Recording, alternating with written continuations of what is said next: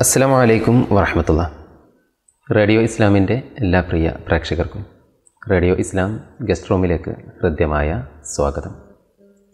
Guest റൂമിൽ വിവിധ മേഖലയിലുള്ള പ്രഗത്ഭ വ്യക്തികൾ റേഡിയോ ഇസ്ലാമിന്റെ പ്രേക്ഷകരുമായി സംവദിച്ചു കഴിഞ്ഞു ഇന്ന് നമ്മളോടൊപ്പമുള്ളത് അധ്യാപകനും അതോടൊപ്പം തന്നെ കേരളത്തിലെ അറബി ഭാഷാ പഠന രംഗത്തെ നിറ സാന്നിധ്യവുമായ ഡോക്ടർ സോബിർ നവാസാണ്. അദ്ദേഹത്തെ ആദരപൂർവം സ്വാഗതം ചെയ്യുകയാണ്. അസ്സാം വലൈക്കും വറഹമത്തുള്ള. സർ ആദ്യം നമുക്ക് വ്യക്തി വിവരങ്ങളിലേക്ക് പോകാം. എവിടെയായിരുന്നു ജനനം പഠനം? ഞാൻ മലപ്പുറം ജില്ലയിലെ തിരൂരിനടുത്ത് പറവണ്ണ എന്ന ഒരു തീരപ്രദേശത്താണ് എന്റെ ജനനവും പ്രാഥമിക വിദ്യാഭ്യാസവും. അവിടുത്തെ ഗവൺമെന്റ് സ്കൂളിലെ പഠനത്തിന് ശേഷം പിന്നീട് ഉപരിപഠനത്തിന് വേണ്ടി പുളിക്കൽ മദീനത്തുലുലൂമിൽ എത്തിച്ചേരുകയാണ്. അഫ്സലുലമ പ്രിലിമിനറി മുതൽ എം എ പോസ്റ്റ് അഫ്സലുലമ വരെയുള്ള ഏഴ് വർഷം മദീനത്തുലുലൂമിലാണ് ഞാൻ പഠിച്ചത്. പിന്നീട് ജോലിയിൽ പ്രവേശിക്കാനുണ്ടായത്. അതിനിടയിൽ Hyderabad English and foreign language യൂണിവേഴ്സിറ്റിയിലാണ് ഞാൻ പി എച്ച് ഡി പൂർത്തിയാക്കിയത്. ഒട്ടെല്ലാ മേഖലകളും നിർജീവാവസ്ഥയിൽ നിന്നിട്ടുണ്ടായിരുന്ന ഒരു കാലഘട്ടമായിരുന്നു കോവിഡ് കാലഘട്ടം. പക്ഷേ ആ ഒരു സമയത്തും കേരളത്തിലുള്ള അറബി ഭാഷാ പഠനരംഗം വളരെ ആക്റ്റീവായി മുമ്പോട്ട് പോവുകയായിരുന്നു ഒരുപാട് സൂമിനാറുകളും വെബിനാറുകളും ഒക്കെ അതുമായി ബന്ധപ്പെട്ട് നടന്നിട്ടുണ്ടായിരുന്നു. ഒട്ടുമിക്ക വെബിനാറുകളിലും കണ്ടിട്ടുള്ളൊരു പേര് സ്വാബിർ നവാസ് എന്നുള്ളതായിരുന്നു. ഒരുപാട് പ്രവർത്തനങ്ങൾ ആ മേഖലയിൽ കാഴ്ചവെക്കാൻ സാധിച്ചിട്ടുണ്ട്. എന്തായിരുന്നു അത്തരത്തിലുള്ള പ്രവർത്തനങ്ങളുടെ ഒരു തുടക്കം? ഇതുപോലെ ഒരു ഏപ്രിൽ മാസത്തിൽ കൃത്യമായി പറഞ്ഞാൽ ഏപ്രിൽ നാലാം തീയതിയാണ് ഓൺലൈൻ പ്രവർത്തനങ്ങൾ അക്കാദമിക പ്രവർത്തനങ്ങൾ ഓൺലൈൻ രംഗത്ത് നമ്മൾ പ്രത്യേകിച്ച് അറബി ഭാഷയുമായി ബന്ധപ്പെട്ട് തുടക്കം കുറിച്ചത് അത് കോവിഡ് എന്ന് പറയുന്ന ലോക ചരിത്രത്തിൽ കേട്ടുകേൾവിയില്ലാത്തൊരു വലിയ മഹാമാരിയുടെ പിടിയിൽ ലോകം മുഴുവൻ അടഞ്ഞു കിടന്നപ്പോൾ സ്വാഭാവികമായി നമ്മുടെ അക്കാഡമിക് എക്സർസൈസൊക്കെ നിർത്തിവെക്കേണ്ട ഒരു നിർബന്ധിതാവസ്ഥയുണ്ടായി. അപ്പോൾ ഇതിങ്ങനെ പോയാൽ സ്വാഭാവികമായി നമ്മളെയും നമ്മുടെ ചുറ്റിപ്പറ്റിയുള്ള വിദ്യാർത്ഥികളെയും അക്കാദമിക സമൂഹത്തെയും സർവകലാശാലകളെയും ഒക്കെ ബാധിക്കും എന്ന നില വന്നപ്പോഴാണ് ഇതിനെ എങ്ങനെ നമുക്ക് ക്രിയാത്മകമായി തരണം ചെയ്യാം എന്ന് ചില സുഹൃത്തുക്കളുമായി കൂടി ആലോചിച്ചത് രണ്ടായിരത്തി പതിനേഴിൽ വിദ്യാഭ്യാസ രംഗത്തെ ഒരു ഗുണമേന്മ ഉറപ്പുവരുത്തുന്നതിനാവശ്യമായ പദ്ധതികളുമായി ആവിഷ്കരിച്ച അക്കാഡമി ഓഫ് എക്സലൻസ് എന്ന് പറയുന്ന സ്ഥാപനത്തിന്റെ കീഴിൽ വളരെ ചെറിയ രൂപത്തിൽ അന്ന് ഒരു ഇരുപതോ മുപ്പതോ പേര് മാത്രം ചേരുന്ന ആദ്യത്തെ ഒരു ഓൺലൈൻ ചർച്ച വെബിനാർ നമ്മൾ സംഘടിപ്പിക്കുകയായിരുന്നു. ഇപ്പോൾ ഒരു വർഷം കഴിഞ്ഞ് തിരിഞ്ഞു നോക്കുമ്പോൾ വളരെ വലിയ സ്വീകാര്യതയും ജനപ്രിയതയും ഒക്കെ നേടി ഒരു നല്ല തലത്തിലേക്ക് മികച്ച അക്കാദമിക സംഭാവനകൾ സമർപ്പിക്കാൻ സാധിച്ചിട്ടുണ്ട് എന്ന ചരിതാർത്ഥ്യമാണുള്ളത്. ഇത്തരത്തിലുള്ള പ്രവർത്തനങ്ങളുടെ തുടക്കമാണ് പറഞ്ഞിട്ടുണ്ടായിരുന്നത്. ആ ഒരു പ്രവർത്തനത്തിന്റെ പരിണിത ഫലം അതിന്റെ എഫക്റ്റ് എത്രത്തോളമായിരുന്നു? പോസ്റ്റ് കോവിഡ് കാലഘട്ടത്തിൽ ഉണ്ടായിട്ടുണ്ടായിരുന്നു. തീർത്തും ഇത് ലോക ചരിത്രത്തിൽ തന്നെ ഭാഷാ പഠന ചരിത്രത്തിലെ ഒരു അത്ഭുതമാണ് കേരളം. ഇന്ത്യ കേരളം എന്നൊക്കെ പറയുന്നത്.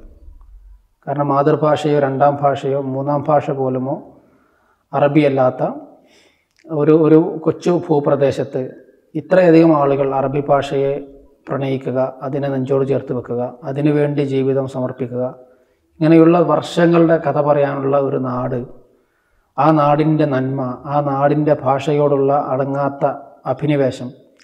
ഇത് ലോകമെമ്പാടുമുള്ള അറബ് സമൂഹത്തെ തെര്യപ്പെടുത്തുവാൻ അവരുടെ മുന്നിൽ സമർപ്പിക്കുവാൻ കഴിഞ്ഞ ഒരു വലിയ നേട്ടം സത്യത്തിൽ ഈ കോവിഡ് കൊണ്ട് ഉണ്ടായിട്ടുണ്ട് എന്ന് ഞാൻ വിശ്വസിക്കുകയാണ്.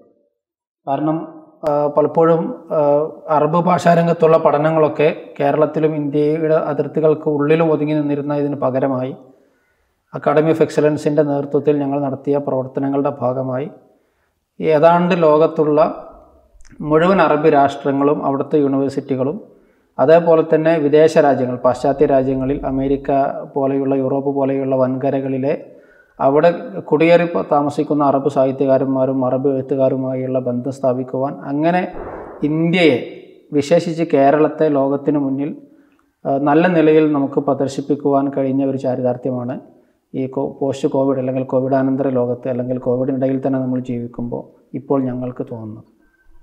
നേരത്തെ പറഞ്ഞ സൂമിനാറുകളും വെബിനാറുകളൊക്കെ ഒരുപാട് അറബി ഭാഷയിൽ ഇപ്പോൾ തിളങ്ങി നിൽക്കുന്ന ഒരുപാട് എഴുത്തുകാരെ പരിചയപ്പെടുത്താൻ സാധിച്ചിട്ടുണ്ട്. അത് നിലവിലെ അറബി ഭാഷ വിദ്യാർത്ഥികൾക്ക് എങ്ങനെയാണ് ഉപകാരപ്പെടുന്നത്? കേരളം പോലെയുള്ള ഒരു പ്രദേശത്ത് ദേശീയാടിസ്ഥാനത്തിൽ ഇന്ത്യയിലെ സർവകലാശാലകൾ തന്നെ നമ്മൾ പരിശോധിക്കുമ്പോൾ നമ്മളുടെ ഒരു അറബി പഠനം അറബി സാഹിത്യ പഠനം അറബി സാഹിത്യ ചരിത്ര പഠനം എന്നൊക്കെ പറയുന്നത് ഒരു ആഭ്യന്തര വിമർശനത്തിന് വിധേയമാക്കപ്പെടേണ്ടതാണ്. കാരണം പണ്ട് കാലത്ത് ലഭ്യമായിരുന്ന റെഫറൻസുകളിൽ തന്നെ പഴയ സിലബസിൽ തന്നെ പലപ്പോഴും നമ്മുടെ സാഹിത്യകാരന്മാരും സാഹിത്യ രംഗത്തുള്ള പ്രസ്ഥാനങ്ങളും സാഹിത്യരംഗത്ത് വരുന്ന ഈ സ്കൂൾ ഓഫ് തോട്ട്സും ഒക്കെ അടങ്ങിപ്പോകുന്ന ഒരു ഒരു പ്രശ്നമുണ്ട്.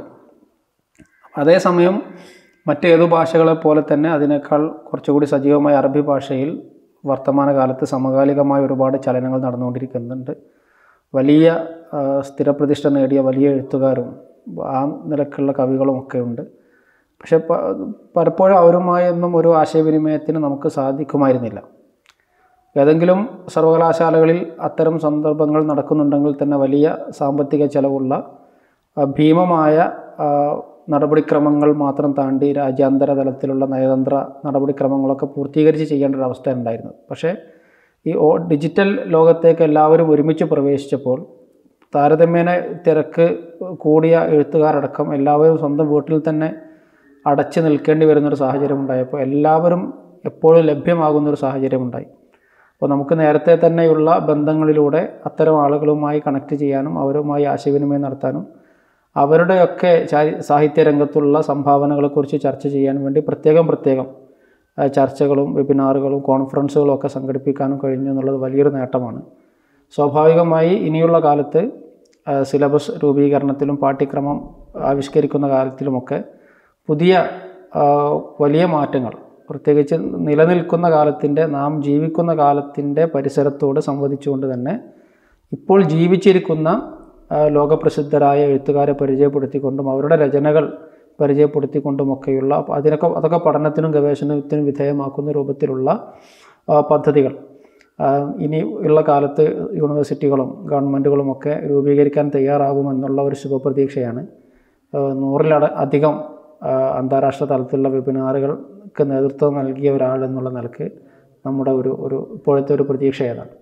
ആധുനിക അറബി സാഹിത്യത്തിലേക്ക് വിദ്യാർത്ഥികൾക്ക് കടന്നു വരാൻ സാധിക്കുമെന്നുള്ളതാണ് പറഞ്ഞിട്ടുള്ളത് അല്ലേ? പുതിയ ആധുനിക അറബി സാഹിത്യം എന്ന് പറയുന്നത് സ്വാഭാവികമായി ഇരുപതാം നൂറ്റാണ്ടുകൾ തന്നെ തുടങ്ങിയ ഒരു ഒരു- ഒരു സാങ്കേതിക പദമാണെങ്കിൽ പോലും ഒരു കോണ്ടംപററി അറബി സാഹിത്യം എന്ന് പറയുമ്പോൾ അതായത് ഒരു വർത്തമാനകാല സമകാലിക അറബി സാഹിത്യത്തിലേക്കുള്ള ഏറ്റവും പിന്നെ ട്രെൻഡിങ് ആയിട്ടുള്ള ഇന്ന് ഏറ്റവും ലൈവായി നിൽക്കുന്ന ചലനങ്ങൾ വരെ സാഹിത്യ ചലനങ്ങൾ വരെ ഒപ്പിയെടുക്കാൻ പറ്റുന്ന രൂപത്തിൽ നമുക്കിതിന്റെ ഭാഗമായിട്ടുള്ള സെമിനാറുകൾ നടത്താൻ പറ്റിയിട്ടുണ്ട്.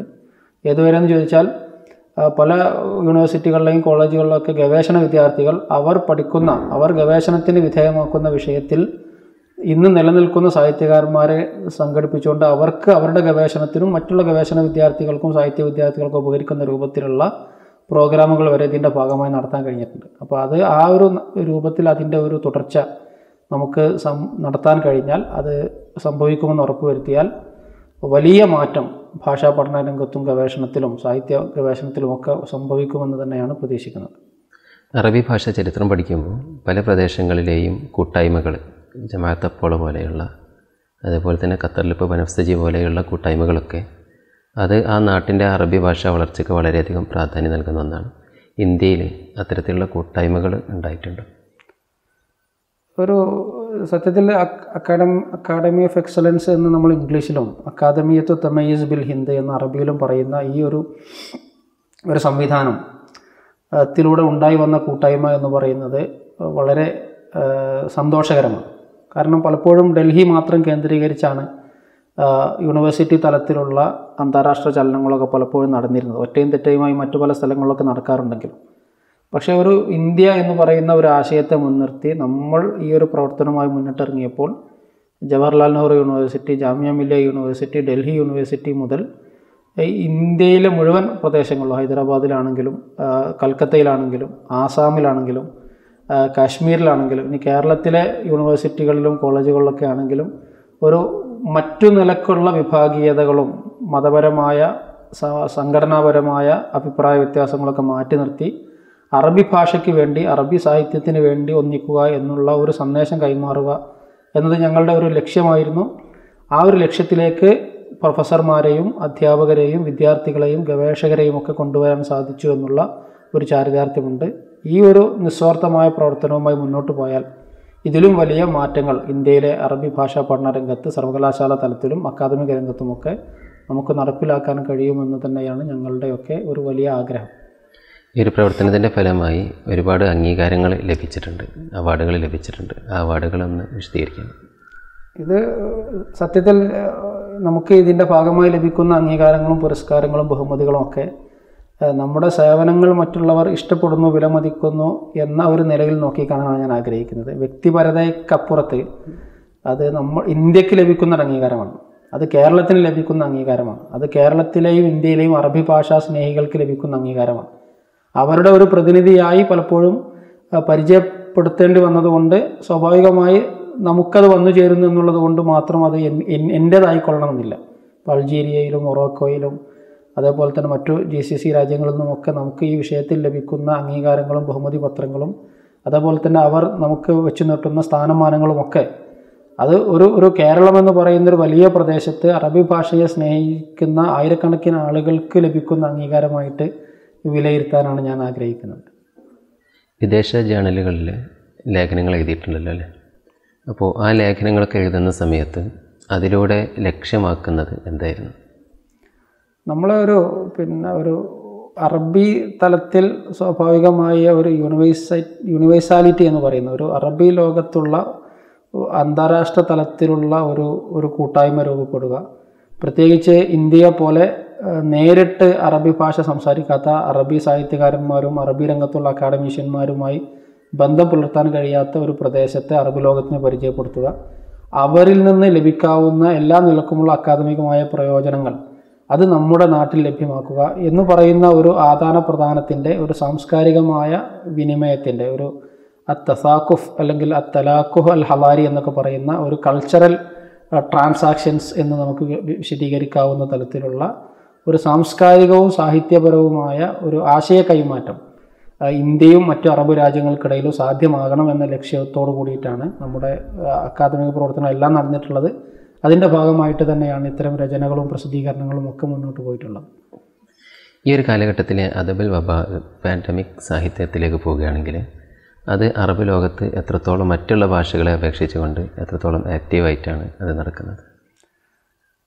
മറ്റ് അറബ് ഭാഷയുടെ ഒരു ഒരു പ്രത്യേകത എന്ന് പറയുന്നത് നമ്മൾ ഇപ്പോൾ പലപ്പോഴും നമ്മളൊക്കെ അറിയുന്ന അറബി ഭാഷ അറബി സാഹിത്യം എന്ന് പറയുന്നത് പലപ്പോഴും നമ്മളുടെ ഒരു ജോലിയുടെയും മറ്റുമൊക്കെ ഭാഗമായി ഗൾഫ് രാജ്യങ്ങളിലേക്ക് പോകുമ്പോഴുള്ള പരിമിതമായ അറിവ് വെച്ചുകൊണ്ടാണ്.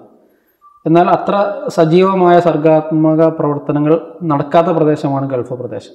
അതേസമയം നമ്മൾ നോർത്ത് ആഫ്രിക്ക പോലെയുള്ള അതേപോലെ തന്നെ ഏഷ്യയിലെ തന്നെ മറ്റു അറബ് രാഷ്ട്രങ്ങൾ നമ്മൾ പരിശോധിച്ച് നോക്കുമ്പോൾ ഈജിപ്തും അൾജീരിയയും മൊറോക്കയും ടുണീഷ്യയും സിറിയയും ഒക്കെ അടക്കമുള്ള ഇറാഖ് അടക്കമുള്ള രാജ്യങ്ങളിൽ നടക്കുന്ന അറബ് ഭാഷാ സാഹിത്യ രംഗത്തുള്ള പ്രവർത്തനങ്ങൾ വെച്ച് നോക്കുമ്പോൾ ലോകത്ത് ഇന്ന് മറ്റ് ഏത് ഭാഷാ സാഹിത്യത്തെയും കിടപിടിക്കാവുന്ന രൂപത്തിലുള്ള സാഹിത്യ പ്രവർത്തനങ്ങൾ രചനകൾ വിമർശനങ്ങൾ അതിന്റെ ഭാഗമായിട്ടുള്ള അക്കാദമിക പഠനങ്ങൾ അറബി ഭാഷയിൽ നടക്കുന്നുണ്ടെന്ന് നിസ്സംശയം പറയാൻ പറ്റും.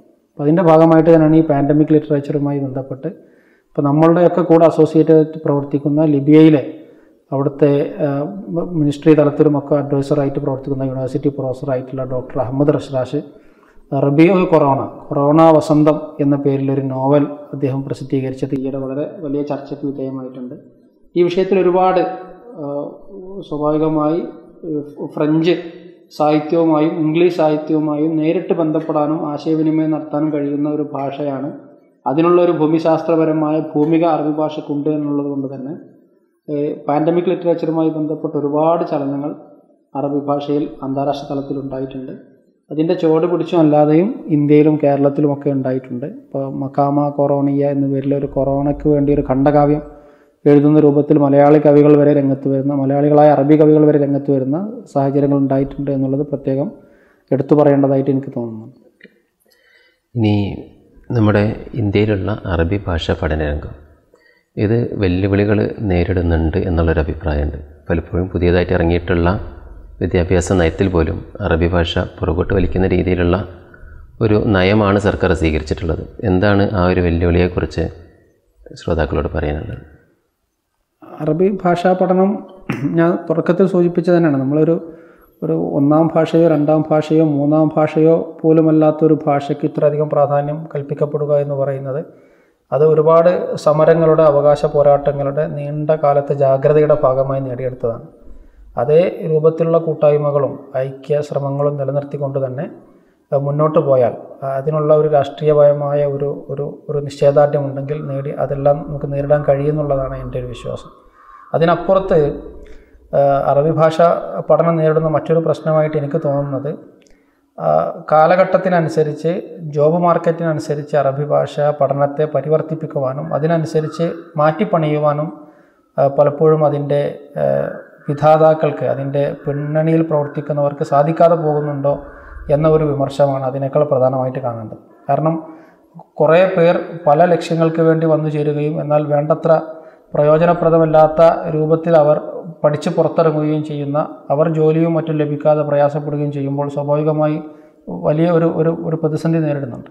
എന്നാൽ വിദേശ രാജ്യങ്ങളിലും ഈ വിദേശ രാജ്യങ്ങളിലേക്ക് പോകാതെ തന്നെ ഇന്ത്യയിലേക്ക് വലിയ തോതിൽ വന്നുകൊണ്ടിരിക്കുന്ന ഈ ബഹുരാഷ്ട്ര കുത്തകകൾ ആയിട്ടുള്ള എം എൻ സികളൊക്കെ അടക്കമുള്ള ജോലി സാധ്യതകൾ ഉപയോഗപ്പെടുത്തിയാൽ ഇന്ത്യയിൽ ഇന്നും പഠിച്ച് പുറത്തിറങ്ങി മുഴുവൻ ആളുകൾക്ക് ജോലി ലഭിച്ചാലും മതിയാവാത്ത അത്രയും വലിയ അവസരങ്ങളുണ്ട്. പക്ഷേ ഈ ഇൻഡസ്ട്രിയും അക്കാദമിക പരിസരവും തമ്മിലുള്ള ഒരു ചേർച്ചയില്ലായ്മയാണ് നമ്മളിന്ന് നേരിടുന്ന ഒരു ഏറ്റവും വലിയൊരു പ്രശ്നം. ഒരു ഭാഷാ പഠനം എന്ന് പറയുന്നാൽ ഭാഷയിലെ മുഴുവൻ സ്കില്ലുകളും ഭാഷയിലെ അടിസ്ഥാനപരമായ എല്ലാ സ്കില്ലുകളും വൈദഗ്ധ്യവും നേടിയെടുത്തുകൊണ്ടാണ് ഒരാൾ ഭാഷ പഠിക്കേണ്ടത്. അപ്പോൾ ആ ബേസിക് സ്കില്ലുകൾ പോലും നേടിയെടു നേടിക്കൊടുക്കുന്നതിൽ പലപ്പോഴും നമ്മുടെ അറബി വിദ്യാഭ്യാസം വിജയിക്കുന്നില്ല എന്ന് പറയുന്നിടത്തു നിന്നാണ് നമ്മുടെ ചർച്ച ആരംഭിക്കേണ്ടത്. ഒരുപാട് പരിണാമങ്ങൾക്കും പരിവർത്തനങ്ങൾക്കും വിധേയമായിട്ടുള്ള ഒന്നാണ് ഭാഷാ പഠനം എന്ന് പറയുന്നത്. നിരന്തരമായ ഗവേഷണം ഈ മേഖലയിൽ നടന്നുകൊണ്ടിരിക്കുന്നുണ്ട്. അപ്പോൾ അതിന്റെയൊക്കെ ചുവട് പിടിച്ച് ഇന്ത്യയിലുള്ള അറബി ഭാഷാ പഠനത്തെയും മാറ്റിപ്പണിയുവാനും പുനരാവിഷ്കരിക്കുവാനും നമ്മൾ തയ്യാറാവുകയും ആ നിലക്കുള്ള ഒരു പ്രയോജനക്ഷമത ഉറപ്പുവരുത്തുകയും ചെയ്യുക എന്നുള്ളതാണ് ഇനിയുള്ള കാലത്തെ ഭാഷാ പഠനത്തോട് നമ്മൾ കാണിക്കേണ്ട ഏറ്റവും വലിയ നീതി എന്നാണ് ഞാൻ ഉറച്ചു വിശ്വസിക്കുന്നത്. ഈ ഒരു കാലഘട്ടത്തിൽ മുൻപൊക്കെ നമ്മൾ ഗൾഫിൽ ജോലി സാധ്യത ഉണ്ട് എന്ന് പറഞ്ഞുകൊണ്ടായിരുന്നു ചിലരൊക്കെ അറബി പഠിക്കാറുള്ളത്. ഇപ്പോൾ ഈ ഗൾഫ് മേഖല പുറകോട്ട് പോകുന്നു. അതുകൊണ്ട് തന്നെ അറബി ഭാഷയ്ക്കുള്ള ജോലി സാധ്യതകൾ കുറയുന്നു എന്നുള്ളൊരു വിമർശനം വരുന്നുണ്ട്. ഈ വിമർശനത്തെ എങ്ങനെയാണ് നേരിടാൻ സാധിക്കുക? സ്വാഭാവികമായുള്ള സ്വദേശിവൽക്കരണവും മറ്റ് രാജ്യങ്ങളിൽ നിന്നുള്ള ആളുകളുടെ തള്ളിക്കയറ്റവും ഒക്കെ ഇന്ത്യക്കാരായ തൊഴിലന്വേഷകർക്ക് വെല്ലുവിളി തന്നെയാണെങ്കിലും കഴിവും കാര്യക്ഷമതയുമുള്ള ആളുകൾക്ക് ഇപ്പോഴും ഒരുപാട് അവസരങ്ങൾ അവശേഷിക്കുന്നുണ്ട് എന്നുള്ളതാണ് യാഥാർത്ഥ്യം.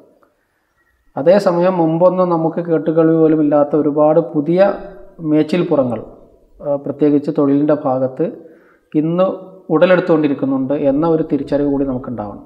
അതാണ് ഞാൻ നേരത്തെ സൂചിപ്പിച്ച ഈ മൾട്ടിനാഷണൽ കമ്പനികൾ മുഴുവനും കോർപ്പറേറ്റുകൾ മുഴുവനും.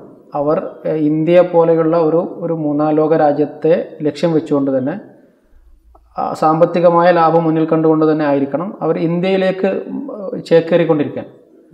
ഇങ്ങനെയുള്ള നൂറുകണക്കിന് കമ്പനികൾക്കൊക്കെ അറബിക് ലാംഗ്വേജ് കൈകാര്യം ചെയ്യാൻ പറ്റുന്ന എക്സ്പേർട്ടുകളെയും വിദഗ്ധരെയും ആവശ്യമുണ്ട്. അപ്പോൾ ഈ ഒരു സാധ്യത കൂടി മനസ്സിലാക്കി നമ്മുടെ വിദ്യാർത്ഥികളും അധ്യാപകരും അതിനാവശ്യമായ രൂപത്തിലുള്ള പരിശീലന പ്രവർത്തനങ്ങൾ കൂടി നടപ്പിലാക്കിയാൽ ഈ തൊഴിൽ എന്നുള്ള ഒരു സ്വപ്നം അതൊരു യാഥാർത്ഥ്യമാക്കുവാനും ഒരുപാട് വിദ്യാർത്ഥികൾക്ക് അവരുടെ ജീവിതം കരുപ്പിടിപ്പിക്കുവാനും കഴിയും. എന്നത് ഒരു ഒരു പുതിയ കാലത്തിന്റെ ഒരു യാഥാർത്ഥ്യവും വെല്ലുവിളിയുമാണ്. അതിന് നമ്മൾ എത്രത്തോളം ചെവി കൊടുക്കുന്നു അതിന് എത്രത്തോളം നമ്മൾ അതിനോട് സർഗാത്മകമായി നമ്മൾ പ്രതികരിക്കുന്നു എന്നുള്ളതാണ് ചോദ്യം. കോവിഡ് കാലഘട്ടത്തിന്റെ ഏറ്റവും വലിയൊരു പ്രത്യേകത ഓൺലൈൻ കോഴ്സുകൾ ഒരുപാട് രംഗത്ത് വന്നു എന്നുള്ളതായിരുന്നു. അക്കാഡമിക് എക്സലൻസ് ഓഫ് എക്സലൻസിന്റെ ഭാഗമായിട്ട് നടത്തിയിട്ടുള്ള ഓൺലൈൻ കോഴ്സുകൾ എന്തൊക്കെയാണ്? ഒരു ഈ കഴിഞ്ഞ ഒരു വർഷത്തെ നമ്മുടെ പ്രവർത്തനങ്ങൾ വിലയിരുത്തിയാൽ ക്രമാനുഗതമായ ചില പരിണാമങ്ങൾ ഒരു റെവല്യൂഷൻ ഇങ്ങനെ നിരീക്ഷിക്കാൻ പറ്റും. തുടക്കത്തിൽ ഒരു വെബിനാർ എന്ന രൂപത്തിലാണ് നമ്മൾ തുടങ്ങിയത് സൂമിനാർ എന്നുള്ള രൂപത്തിൽ. പിന്നെ എല്ലാവരും അതിന്റെ പിറകെ വന്നപ്പോൾ സ്വാഭാവികമായി നമ്മളത് കോൺഫറൻസുകൾ എന്നൊരു രൂപത്തിലേക്ക് മൂന്ന് ദിവസവും നാല് ദിവസമൊക്കെ നീണ്ടു നിൽക്കുന്ന അക്കാഡമിക് കോൺഫറൻസുകൾ എന്ന തലത്തിലേക്ക് നമ്മൾ അതിനെ പരിവർത്തിപ്പിച്ചു. അടുത്ത ഘട്ടമായിട്ട് നമ്മൾ അതിൽ ചെയ്ത ഏറ്റവും പ്രധാനപ്പെട്ട ഒരു കാര്യം ചരിത്രം രേഖപ്പെടുത്തുക വിദ്യാഭ്യാസ രംഗത്ത് ഓൺലൈൻ രംഗത്ത് അറബി ഭാഷയിൽ സിസ്റ്റമാറ്റിക്കായ കോഴ്സുകൾ നമ്മൾ ഇൻട്രൊഡ്യൂസ് ചെയ്തു എന്നുള്ളതാണ് ഇപ്പോൾ കഴിഞ്ഞ ഒരു കാലയളവിൽ നമ്മൾ ഏഴോളം കോഴ്സുകൾ നമ്മൾ നടപ്പിലാക്കിയിട്ടുണ്ട്. ഈ ഷോർട്ട് ടൈം കോഴ്സുകൾ എന്നുള്ള രൂപത്തിൽ യൂണിവേഴ്സിറ്റികളുടെയും കോളേജുകളുടെയും ഒക്കെ ഓട്ടോണമസ് കോളേജുകളുടെയും ഒക്കെ ബോർഡ് ഓഫ് സ്റ്റഡീസ് അംഗീകരിക്കുന്ന യു ജി സിയുടെ മാനദണ്ഡങ്ങൾക്ക് അനുസൃതമായിട്ടുള്ള ഷോർട്ട് ടൈം കോഴ്സുകളിലൂടെ തുടങ്ങി.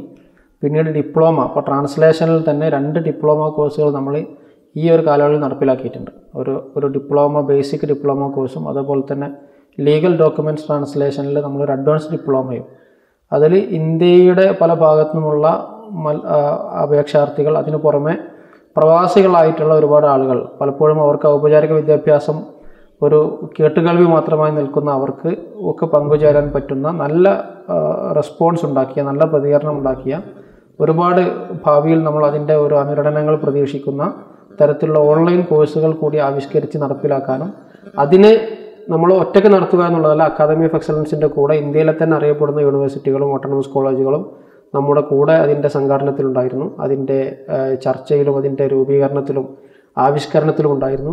അതിനു പുറമെ അന്താരാഷ്ട്ര തലത്തിലുള്ള ഏജൻസികളും യൂണിവേഴ്സിറ്റികളും കൂടി കൊളാബറേറ്റർമാരായിട്ട് പങ്കെടുത്തുകൊണ്ടുള്ള തീർത്തും തീർത്തും ഇന്റർനാഷണലായ നിലവാരം പുലർത്തിക്കൊണ്ടുള്ള കോഴ്സുകൾ സംഘടിപ്പിക്കാൻ കഴിഞ്ഞു. അതിലുള്ള ട്രെയിനേഴ്സും റിസോഴ്സ് പേഴ്സൺസും ഒക്കെ ക്ലാസ്സുകൾ എടുക്കാൻ വന്നിരുന്ന ആളുകൾ പോലും ഇൻഡസ്ട്രിയിൽ നിന്നുള്ള നേരിട്ട് ഇത്തരം ഫീൽഡിലൊക്കെ വർക്ക് ചെയ്ത് പത്തും ഇരുപതും കൊല്ലത്തെ എക്സ്പീരിയൻസ് ഉള്ള ആളുകളെ ക്ഷണിച്ചുകൊണ്ട് അവരെ ഇതിൽ നമ്മുടെ പിന്നെ ആർ പികളാക്കി പങ്കെടുപ്പിക്കാൻ സാധിച്ചു എന്നുള്ളത് വലിയ നേട്ടമായിട്ട് തന്നെയാണ് ഞങ്ങൾ വിലയിരുത്തുന്നത്. അപ്പോൾ ഇത്തരം കോഴ്സുകളുടെ ഭാവി എങ്ങനെയാണ് തീരുമാനിക്കുന്നത്? ഇനി അങ്ങോട്ട് കൂടുതൽ വിപുലമായ രൂപത്തിൽ യു ജി എസ് സിയുടെ മാർഗനിർദ്ദേശങ്ങൾക്കനുസരിച്ചുകൊണ്ട് തന്നെ കൂടുതൽ ഓൺലൈൻ കോഴ്സുകളുമായി മുന്നോട്ട് പോകണം എന്നാണ് നമ്മൾ വിചാരിക്കുന്നത്. ലോകം അതിന്റെ സാധാരണഗതിയിലേക്ക് തിരികെ നടക്കുമ്പോഴും ലോക്ക്ഡൗണും കൊറോണയും കോവിഡും അടക്കമുള്ള ദുരന്തങ്ങളിൽ നിന്ന് നമ്മൾ മാറി നിൽക്കുമ്പോഴും ഈ ലോകം നമുക്ക് നൽകുന്ന ഈ പുതിയൊരവസരം സർവലോകരക്ഷിതാവായ അള്ളാഹു നൽകിയിട്ടുള്ള ഈ ഒരു ഒരു ഓൺലൈൻ അവസരങ്ങൾ അത് പരം അതിന്റെ പരമാവധി പ്രയോജനങ്ങൾ ഉപയോഗപ്പെടുത്തിക്കൊണ്ട് പുതിയ തലമുറയ്ക്ക് ഉപകരിക്കുന്ന രൂപത്തിലുള്ള ന്യൂ ജനറേഷൻ കോഴ്സുകളും മറ്റും തൊഴിലിനും മറ്റും അതി അടിസ്ഥാനമാക്കിയിട്ടുള്ള തൊഴിലധിഷ്ഠിത കോഴ്സുകൾ ആവിഷ്കരിച്ചുകൊണ്ട് മുന്നോട്ട് പോകണം തന്നെയാണ് ഇതിന്റെ അണിയറ ശില്പികൾ ആഗ്രഹിക്കുന്നത്. ആ രൂപത്തിലുള്ള ചർച്ചകൾ നടന്നുകൊണ്ടിരിക്കുന്നുണ്ട്. അതിനനുകൂലമായ നല്ലൊരു പ്രതികരണമാണ് ഫീൽഡിൽ നിന്ന് ലഭിച്ചുകൊണ്ടിരിക്കുന്നത്. കുറച്ച് കാലങ്ങൾക്ക് മുമ്പ് വരെ. അറബി ഭാഷയിൽ നിന്ന് ഇങ്ങോട്ട് വിവർത്തനം ചെയ്യപ്പെട്ട പുസ്തകങ്ങൾ വളരെ കുറവായിരുന്നു. ഞാനൊക്കെ കണ്ടിട്ടുള്ളത് ആകെ വാതിരാകുലിന്റെ രാഗം എന്ന് പറയുന്ന ആ പുസ്തകം പോലെയുള്ള ചില പുസ്തകങ്ങൾ മാത്രമാണ്. പക്ഷേ ഈ ഒരു കാലഘട്ടത്തിൽ ഒരുപാട് വിവർത്തന സാഹിത്യങ്ങൾ വരുന്നുണ്ട്. അതിനെ എങ്ങനെയാണ് നോക്കിക്കാണുന്നത്? വളരെ നല്ല ഒരു ഒരു അനുകൂലമായ ഒരു പ്രോത്സാഹനജനകമായ ഒരു ഒരു പ്രവണതയാണിത്. പ്രത്യേകിച്ച് കഴിഞ്ഞ ഒരു ചർച്ചയിൽ കഴിഞ്ഞ ആഴ്ച പങ്കെടുത്തപ്പോൾ എനിക്ക് ബോധ്യപ്പെട്ടത് പല വിദ്യാഭ്യാസ സ്ഥാപനങ്ങളും അവരുടെ ഡിഗ്രിക്കും പി ഒക്കെ പഠിക്കുന്ന വിദ്യാർത്ഥികൾക്ക് പ്രൊജക്റ്റ് വർക്കായിട്ട് ട്രാൻസ്ലേഷൻ കൊടുക്കുകയും അവർ നിർബന്ധമായും നിലവിലുള്ള എഴുത്തുകാരുടെ പ്രധാനപ്പെട്ട എഴുത്തുകളൊക്കെ രചനകളൊക്കെ അവർ മലയാളത്തിലേക്ക് വിവർത്തനം ചെയ്യുകയും മലയാളത്തിൽ നിന്ന് തിരിച്ച് അറബിയിലോട്ട് ഭാഷാന്തരം ചെയ്യുകയും ചെയ്യുന്ന ഒരവസ്ഥ ഒരു പ്രവണത കടന്നു വരുന്നുണ്ട്. വളരെ സ്വാഗതാർഹമാണ്. അത് നമ്മൾ പ്രോത്സാഹിപ്പിക്കേണ്ടതാണ്. അത് സ്വാഭാവികമായി ലോകത്ത് നടക്കുന്ന സാഹിത്യ ചലനങ്ങളെ സംബന്ധിച്ച് മറ്റു സംസ്കാരങ്ങളെ സംബന്ധിച്ച് നാഗരികതകളെ സംബന്ധിച്ചൊക്കെ ആചാര രീതികളെ സംബന്ധിച്ച് ലൈഫ് സ്റ്റൈലിനെ പറ്റിയൊക്കെ നമുക്ക് മനസ്സിലാക്കാൻ ഉപക ഉപകരിക്കും എന്നുള്ള കാര്യത്തിൽ യാതൊരു സംശയവുമില്ല. അതിൽ സംഭവിക്കാനുള്ള ഇടയുള്ള ഒരു അപജയം എന്ന് പറയുന്നത് വാളെടുത്തവനൊക്കെ വെളിച്ചപ്പാടാവുക എന്ന് പറയുന്നത് പോലെ ഡിഗ്രി എടുത്തവനൊക്കെ ട്രാൻസ്ലേറ്റർ ആവുക അല്ലെങ്കിൽ സാഹിത്യ വിമർശ സാഹിത്യ വിവർത്തകരാവുക എന്ന് പറയുന്നത് ചിലപ്പോൾ ഒരു അതിരുവിട്ട പ്രവർത്തനമായിരിക്കും. കാരണം ട്രാൻസ്ലേഷൻ സ്കില്ലിൽ ഏറ്റവും സങ്കീർണമായ ഏറ്റവും കോംപ്ലിക്കേറ്റഡ് ആയ ഒരു ഏരിയയാണ് ലിറ്റററി ട്രാൻസ്ലേഷൻ സാഹിത്യ അഭിരുചിയുള്ളവർക്കും നല്ല ഭാഷാ സമ്പത്തുള്ളവർക്കും വായനയുടെ മികച്ച പശ്ചാത്തലമുള്ളവർക്കും മാത്രമേ ഈ സാഹിത്യ വിവർത്തനത്തിൽ ശോഭിക്കാൻ കഴിയുകയുള്ളൂ. അപ്പോൾ അല്ലാത്ത ആളുകൾ അതിന് ചെയ്യാൻ വേണ്ടി ധൃതിപ്പെട്ട് വന്നാൽ ആ രംഗത്തൊരു ഒരു ഗുണമേന്മ നഷ്ടപ്പെടുന്ന അല്ലെങ്കിൽ ഒരു മൂല്യച്ചോർച്ച സംഭവിക്കുന്ന ഒരു സാധ്യതയുണ്ട്. ഇതിനെ കൂടി മറികടന്നുകൊണ്ടായിരിക്കണം ഈ രംഗത്തുള്ള പ്രവർത്തനങ്ങൾ ഉണ്ടാവേണ്ടത് എന്നുള്ളതാണ് എന്റെ ഒരു അഭിപ്രായം. പ്രോത്സാഹിപ്പിക്കപ്പെടേണ്ടതും എന്നാൽ വളരെയധികം ശ്രദ്ധ ജാഗ്രത ആവശ്യമുള്ളതുമാണ്. ഏറ്റവും അവസാനമായിട്ട് പണ്ടത്തെ അറബി കോളേജുകളൊക്കെ ഇസ്ലാമിക പ്രബോധന രംഗത്ത് വളരെയധികം മികച്ചു നിന്നവരായിരുന്നു. ഈ ഒരു കാലഘട്ടത്തിലും അത് തുടർന്ന് പോകുന്നുണ്ടോ? അതിൽ നിന്ന് പുറകോട്ട് പോകുന്നുണ്ടോ? ഒരു ഒരു വളരെ സമഗ്രമായി വിലയിരുത്തേണ്ട ഒരു ചോദ്യമാണ്. ഒരു കേവലമായ ഒരു അഭിമുഖത്തിനകത്തുനിന്നുകൊണ്ട് നമുക്ക് അതിനുള്ള കൃത്യമായ മറുപടി പറയാൻ കഴിയില്ല. പക്ഷെ പലപ്പോഴും ഞാൻ ചിന്തിക്കാറുള്ളത് മാറുന്ന കാലത്തിനനുസരിച്ച് മാറുന്ന സങ്കേതങ്ങൾക്കനുസരിച്ച് ഇസ്ലാമിക പ്രബോധനം എന്ന് പറയുന്ന സംജ്ഞയെ മാറ്റിപ്പണിയാനും നിർവചിക്കാനും നമ്മൾ തയ്യാറായിട്ടുണ്ടോ എന്നുള്ളതാണ്. ഒരു കാലത്ത് സൗകര്യങ്ങളുമില്ലാത്തൊരു കാലത്ത് ആളുകൾ മൈക്രോഫോൺ ഉപയോഗിച്ച് മാത്രം നടത്തിയിരുന്ന പ്രവർത്തനത്തെ ഇസ്ലാമിക പ്രബോധനമായി വിലയിരുത്തുകയും അതല്ലാത്ത ഡിജിറ്റൽ രംഗത്തുള്ള ക്രിയേറ്റിവിറ്റി രംഗത്ത് ചെയ്യാൻ സാധിക്കുന്ന ഒരുപാട് അവസരങ്ങളെ പലപ്പോഴും നമ്മൾ തമസ്കരിക്കുകയും ചെയ്യുന്നൊരവസ്ഥയുണ്ട്. അപ്പം നമ്മൾ ഒരു ഒരു വ്യത്യസ്തമായ ഒരു രൂപത്തിൽ നമ്മൾ ചിന്തിക്കുമ്പോൾ എനിക്ക് പലപ്പോഴും തോന്നിയിട്ടുള്ളത് പുതിയ തലമുറയിലെ അറബി കോളേജ് വിദ്യാർത്ഥികൾ പുതിയ സങ്കേതങ്ങൾ ആധുനിക സാങ്കേതിക വിദ്യ സോഷ്യൽ മീഡിയ ഒക്കെ ക്രിയാത്മകമായി ഉപയോഗിക്കുവാൻ കഴിവുള്ളവരും അതിൽ നിപുണരുമാണ്. അപ്പോൾ ആ രംഗത്ത് നിരന്തരമായ ഇടപെടലുകൾ അവർ നടത്തിക്കൊണ്ടിരിക്കുന്നുമുണ്ട്. അതേസമയം സാമ്പ്രദായികമായി തുടർന്നു വരുന്ന രൂപത്തിലുള്ള മതപ്രബോധന പ്രവർത്തനങ്ങളിൽ അലംഭാവമോ അല്ലെങ്കിൽ ചിലപ്പോൾ അവരുടെ അഭാവമോ ഒക്കെ ശ്രദ്ധിക്കപ്പെടുന്നുമുണ്ട്. അപ്പോൾ ഇത് രണ്ടും ഒരേപോലെ പരിഗണിച്ചുകൊണ്ട് സാമ്പ്രദായികമായി നമ്മൾ തുടരേണ്ട കാര്യങ്ങളൊക്കെ തുടർന്നുകൊണ്ടും പുതിയ കാലത്തിന്റെ വെല്ലുവിളികൾ ഏറ്റെടുത്തുകൊണ്ട് പുതിയ സങ്കേതങ്ങളെ ഗുണപരമായി ഉപയോഗപ്പെടുത്തിക്കൊണ്ടുള്ള പ്രവർത്തനങ്ങൾ കൂടി പ്രൊജക്റ്റുകൾ കൂടി മതസംഘടനകളും ആ രംഗത്തുള്ളവർ ആവിഷ്കരിക്കുകയും അതിലേക്ക് യുവാക്കളെ ആകർഷിക്കുവാൻ ശ്രമിക്കുകയും ചെയ്യുക എന്നുള്ളതാണ് ഈ വിഷയത്തിലുള്ള പ്രശ്നത്തിനുള്ള പരിഹാരം. അതല്ലാതെ പഴയ തലമുറയുടെ അതേ രൂപത്തിൽ പുതിയ തലമുറ തന്നെ വളർന്നു വരണം എന്ന് വാശി പിടിക്കുന്നതിൽ അർത്ഥമില്ല. എന്നുള്ളതാണ് എന്റെ ആ വിഷയത്തിലുള്ള ഒരു വ്യക്തിപരമായ അഭിപ്രായം. അറബി വിദ്യാർത്ഥികളോട് കൊടുക്കാനുള്ള നൽകാനുള്ള ഒരു ഉപദേശം എന്താണ്? അറബി വിദ്യാർത്ഥികളോട് മാത്രമല്ല എല്ലാ ഭാഷാ വിദ്യാർത്ഥികളോടും എനിക്ക് പറയാനുള്ളത് പൊതുവായ ഒരു ഒരു ഉപദേശമാണ്. നമ്മൾ ഭാഷ പഠിക്കുക എന്നുള്ളത് കൊണ്ട് ഉദ്ദേശിക്കുന്നത് കുറേ സാഹിത്യം പാരായണം ചെയ്യുക കുറേ സാഹിത്യകാരന്മാരുടെ ചരിത്രം പഠിക്കുക എന്നതല്ല. ഭാഷയുടെ ഭാഷാ പഠനം കൊണ്ട് അടിസ്ഥാനമായി വിവക്ഷിക്കപ്പെടുന്നത് ഭാഷയുള്ള സിദ്ധികൾ നമ്മൾ ആവിഷ്കരിക്കുക എന്നുള്ളതാണ്. ആ ഭാഷ വായിക്കാനും അത് കേട്ടാൽ മനസ്സിലാകാനും അതിൽ സംസാരിക്കാനും അതിൽ നമുക്ക് സർഗരചന നടത്തുവാനും പറ്റുന്ന രൂപത്തിലേക്ക് നമ്മൾ വളർന്നു വരണം. ഈ നാല് അടിസ്ഥാന സിദ്ധികൾ നേടിയെടുക്കുവാൻ കഴിയുമ്പോൾ മാത്രമേ ഒരു ഭാഷ നമ്മൾ പഠിച്ചു എന്ന് പറയാൻ പറ്റൂ. പക്ഷേ പലപ്പോഴും വിദ്യാർത്ഥികൾക്ക് മാത്രമല്ല അധ്യാപകർക്ക് പോലും വേണ്ടത്ര പ്രാപിക്കാൻ കഴിയാത്ത ഒരു മേഖലയാണിത്. അപ്പോൾ അറബി ഭാഷാ രംഗത്തുള്ള ഭാഷാ പഠന രംഗത്തുള്ള സിദ്ധികൾ സ്വായത്തമാക്കുവാൻ വേണ്ടിയുള്ള കഠിന പരിശ്രമങ്ങളിൽ ഏർപ്പെടാൻ പഠന കാലഘട്ടവും ക്യാമ്പസ് കാലവും ഉപയോഗപ്പെടുത്തണമെന്നുള്ളതാണ് എന്റെ പ്രിയപ്പെട്ട വിദ്യാർത്ഥി സഹോദരി സഹോദരങ്ങളോട് സ്നേഹപൂർവം എനിക്ക് ഉപദേശിക്കാനുള്ളത്. റേഡിയോ ഇസ്ലാം ഗസ്റ്റ് റൂമിൽ ഇന്ന് നമ്മളോട് സംവദിച്ചത് ബഹുമാന്യനായ ഡോക്ടർ സാബിർ നവാസായിരുന്നു. ഒരുപാട് തിരക്കുകൾക്കിടയിലും റേഡിയോ ഇസ്ലാമിന്റെ ഈ ഒരു പരിപാടിയിലേക്ക് എത്തിച്ചേർന്ന അദ്ദേഹത്തിന് നന്ദി അറിയിക്കുകയാണ്. ഇൻഷാല്ല മറ്റൊരു അതിഥിയുമായി അടുത്തയാഴ്ച വീണ്ടും കാണാം. അസ്സാം വലൈക്കും വറഹമത്തുള്ള